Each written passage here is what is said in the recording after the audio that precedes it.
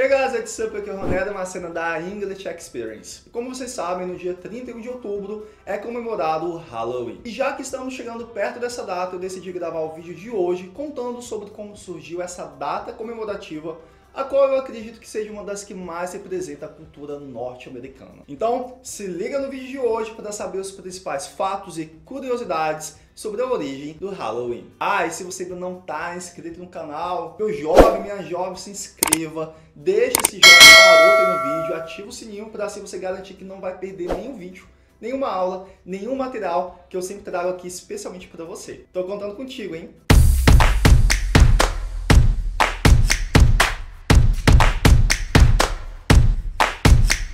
Gente, a origem da festa do Halloween possui uma trajetória bem longa. De acordo com alguns historiadores, ela começou há cerca de 3 mil anos. Ela surgiu com os celtas, um povo que era politeísta, ou seja, que acredita em vários deuses, muitos relacionados com os animais e as forças da natureza. Os celtas celebravam o festival de Samhain, termo que significa fim do verão, e que tinha duração de três dias, com início no dia 31 de outubro. Nesse festival, além de comemorar o fim do verão, comemorava-se a passagem do ano celta, que tinha início no dia 1 de novembro. Para os celtas, esta época significava a aproximação do mundo real entre o outro mundo, onde viviam os mortos. Eles acreditavam que os mortos retornavam para visitar suas casas, amaldiçoar seus animais e suas colheitas. Os símbolos que atualmente são utilizados no Halloween eram confeccionados pelos celtas para afastar os maus espíritos. A tradição dos símbolos e das cores iniciadas pelos celtas é seguida até os dias atuais, o Halloween é ligado principalmente às cores laranja e preto, pois o festival de Samhain acontecia no início de outono, onde as folhas ficavam laranjas e os dias mais escuros. Os celtas inseriam velas em nabos ocos para afastar os maus espíritos. E com o passar dos anos, os americanos foram substituindo por abóboras grandes com caretas esculpidas, o qual ficou até mais bonitinho, né, gente? As máscaras e as fantasias também eram utilizadas pelos povos, pois eles achavam que assim os espíritos não os reconheceriam como seres humanos. Inteligentes eles. Ai, que burro, dá zero pra ele. Nos festivais Samhain eram utilizadas grandes fogueiras, o que acabava atraindo muitos morcegos. Por isso, o morcego também faz parte da simbologia. O esqueleto era uma das formas que eles pensavam que os mortos podiam aparecer. Entre outros objetos também são típicos do Halloween. Mais tarde, durante a Idade Média, a igreja começou a condenar o evento. E daí surgiu o nome Dia das Bruxas.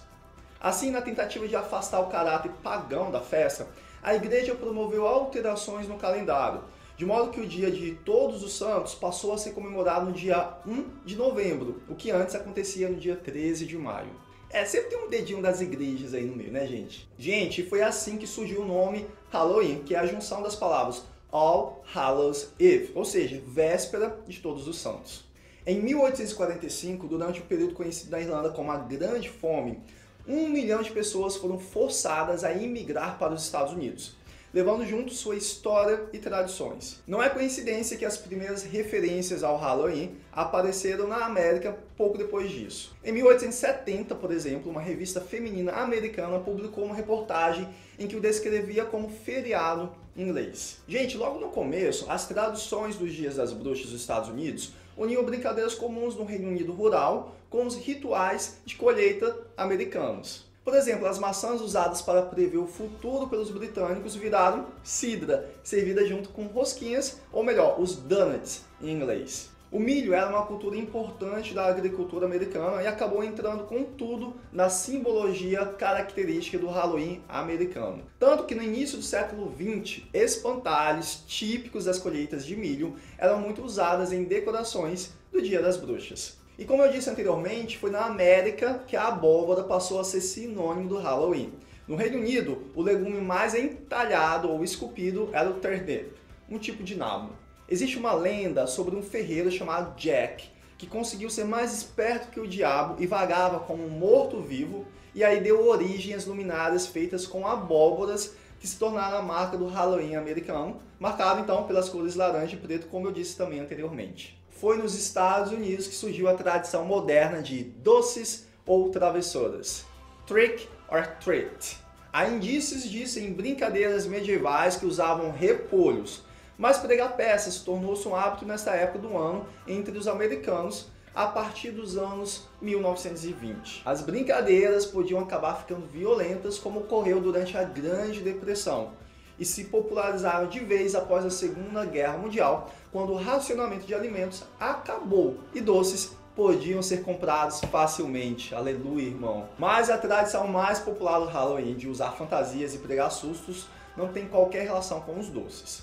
Ele veio após a transmissão pelo rádio da obra Guerra dos Mundos, do escritor inglês H.J. Wells, o que gerou uma grande confusão quando foi ao ar, em 30 de outubro de 1938. Ao concluir, o ator e diretor americano Orson Welles deixou de lado seu personagem para dizer aos ouvintes que tudo não passava de uma pegadinha de Halloween e comparou seu papel ao ato de se vestir com um lençol para imitar um fantasma e dar um susto nas pessoas. Hoje o Halloween é o maior feriado não cristão dos Estados Unidos. Só para vocês terem uma ideia, em 2010 superou tanto o Dia dos Namorados e a Páscoa como a data em que mais se vende chocolates. É, isso não é para qualquer um, né, gente? Ao longo dos anos foi exportado para outros países, entre eles o nosso querido Brasil. Em sua era moderna, Halloween continuou a criar sua própria mitologia. Em 1964, uma dona de casa de Nova York chamada Helen Piffel, Helen Piffel decidiu distribuir palha de aço, biscoito para cachorro e inseticida contra formigas para crianças que ela considerava velhas demais para brincar de doces ou travessuras. Logo, como é de se esperar, espalharam-se lendas urbanas de maçãs recheadas com lâminas de barbear e doces embebidos em arsênico ou drogas alucinógenas. Gente, você imagina o caos que foi, hein? Atualmente o festival tem diferentes finalidades. Celebra os mortos ou a época de colheita e marca o fim do verão e o início do outono no hemisfério norte. Ao mesmo tempo, vem ganhando novas formas e dado oportunidade para que adultos brinquem com seus medos e fantasias de uma forma socialmente aceitável. Às vezes um pouco exagerado, um pouco muito sexualizado as fantasias, né, digamos de passagem. O evento permite subverter normas sociais como evitar contato com estranhos ou explorar o lado negro do comportamento humano. Une religião, natureza, morte e romance. Talvez seja este o motivo de sua grande popularidade. Assim, na minha humilde opinião, o Halloween nos Estados Unidos é como se fosse o carnaval para o Brasil. Um evento bem popular, em que toda a família participa e que a grande maioria das pessoas brinca e se diverte